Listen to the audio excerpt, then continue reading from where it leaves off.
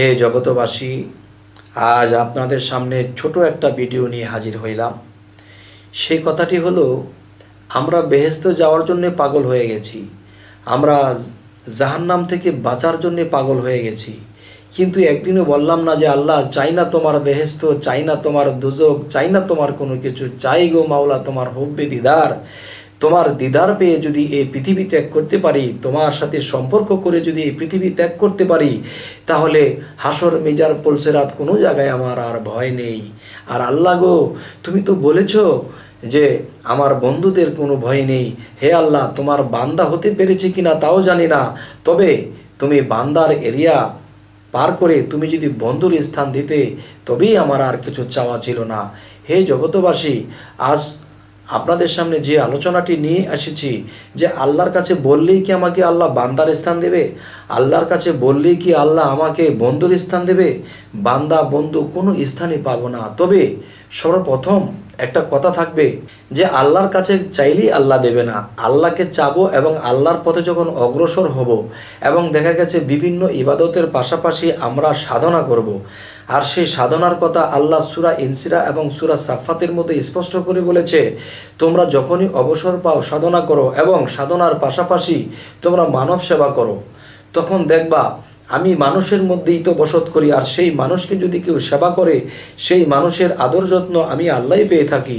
হে জগতবাসী এই জন্যই তো আল্লাহ সুরা মাউনের মধ্যে বলেছে, দুর্ভোগ সেই ইবাদতকারী যারা এতিমের গলা ধাক্কা দেয়, দুর্ভোগ সেই নামাজকারী যারা এতিমের গলা ধাক্কা দেয়। তবে আমরা সেই ইবাদত করব ঠিকই, কিন্তু সেই এতিমদের মাথায় হাত বোলাবো এবং আল্লাহর দিকে অগ্রসর হব এবং আল্লাহর দেওয়া যে সাধনাগুলো করার কথা কোরআনে বলেছে, যে সাধনা করো, তখন তোমরা সাকসেস পাবে, তোমাদের প্রতি আমি খুশি হব। সেই সাধনাগুলো কি? এবং সেই সাধনাগুলো করলে কীভাবে আমরা অগ্রসর হব? সেই সাধনাগুলোর কিছু ইঙ্গিত আমি করব।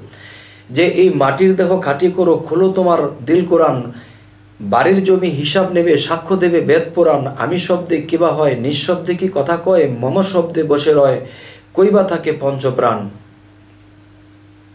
তাহলে সেই পঞ্চপ্রাণটি কোথায় আছে? সেই পঞ্চপ্রাণটি আমার দেহের মধ্যে আছে। সেই দেহের মধ্যে থেকে সেই পঞ্চপ্রাণ কি করতেছে? যে দেখা গেছে যে আগুন, পানি, বাতাস, মাটি, আলো এই পাঁচটি পদার্থের বিষয় দিয়ে এই পঞ্চ আত্মাকে তৈরি করা হয়েছে এবং এই পঞ্চ আত্মার ভিতরেই পঞ্চ আত্মার ভিতরেই সেই রুহু নামের যে বিষয়টি আসতেছে এবং এই পঞ্চ আত্মাকে নিয়ে এই দেহটি চলতেছে। হে জগতবাসী যে এই মাটির দেহ খাটি করব কি দিয়ে? এক নম্বর হলো ভয়, ভক্তি, প্রেম। আর সেই ভয়টি কি? সেই ভয়টি হলো, আমাকে মেরে ফেলবে, খেয়ে ফেলবে, কেটে ফেলবে? না। আমি যাকে ভালোবাসি তাকে হারাবার ভয়। যদি তাকে এত ভালোবেসে, এত সাধনা করে, এত ত্যাগ করে, আমার কোনো ভুলের কারণে যদি তাকে হারাতে হয়, তাহলে এই দুর্ভাগা কোথায় যাবে? তাই প্রেম, ভয়, ভক্তি এই তিনটা জিনিস যদি কেউ ঠিক রাখে এবং সাধনা করে, সে আল্লাহর বান্দা থেকে অবশ্যই সে বন্ধু হবে। আর আল্লাহ বলেছে কি, আমার বন্ধুদের কোনো ভয় নেই, তারা চিন্তিত হবে না। হে জগতবাসী আজ আমি সেই সাধনার কিছু ইঙ্গিত করব। সেই সাধনার ইঙ্গিতগুলো হলো হাতনা তাওয়াই দিবানিশি হয়ে যাওগে কামার পরা। শেষে যাবে লালবাজারে চারি রঙের নিশানুরে অগ্নির মতো ধুধু করে মধ্যে জিনিস ভরা। হে হরফের চাবি দিয়া সদায় গিয়ে ঘোরা।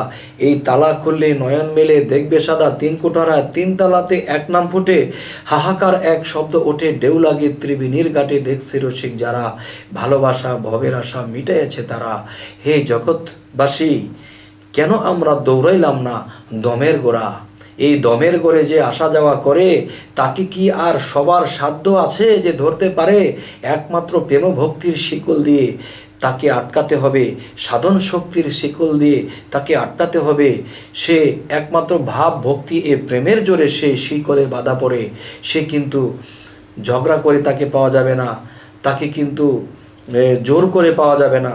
তাকে একমাত্র ভক্তি হৃদয় চোখের পানির দ্বারা যদি কেউ কাঁদতে পারে, তাহলে সে অবশ্যই তার সেই প্রেমের জালে ধরা পড়ে। সে কখনোই তাকে কখনো পৃথিবীর কোনো অস্ত্র দিয়ে ধরতে পারব না। তাকে একমাত্র ধরতে হবে, সে প্রেমের শিকলে তাকে আটকাতে হবে।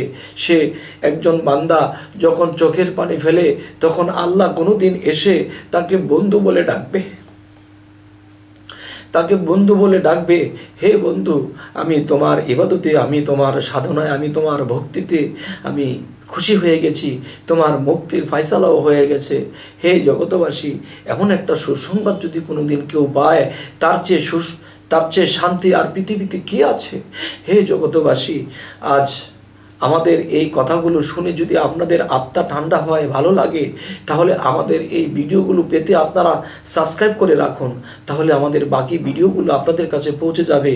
তো আজ এই কথাগুলো বলেই রাখছি। সকলেই ভালো থাকবেন। আল্লাহ হাফিজ।